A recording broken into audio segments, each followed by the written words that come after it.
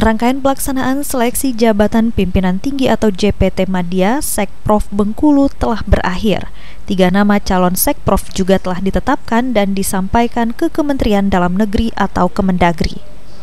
Ketiga nama calon Sekprov ini adalah Isnan Fajri, Kepala Badan Pengelola Keuangan Daerah atau BPKD Provinsi, Herwan Antoni, Kadis Kesehatan Provinsi, dan Supran, Kadis PMPTSP Provinsi Bengkulu.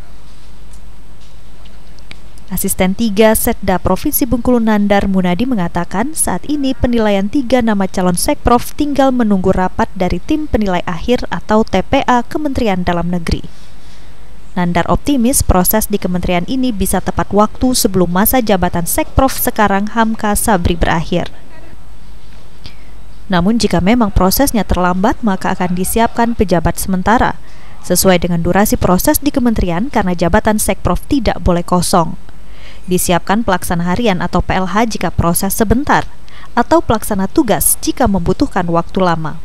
Sudah pengganti yang definitif juga sudah siap untuk menggantikan. Itu harapan kita. Mempertimbangkan apakah proses ini hanya membutuhkan waktu yang singkat, mungkin kita ditunjuk dulu oleh Pak Gubernur LH Sekda. Tapi kalau prosesnya bisa jadi memakan waktu lama, itu mungkin ditunjuk eh, tugas untuk sekda.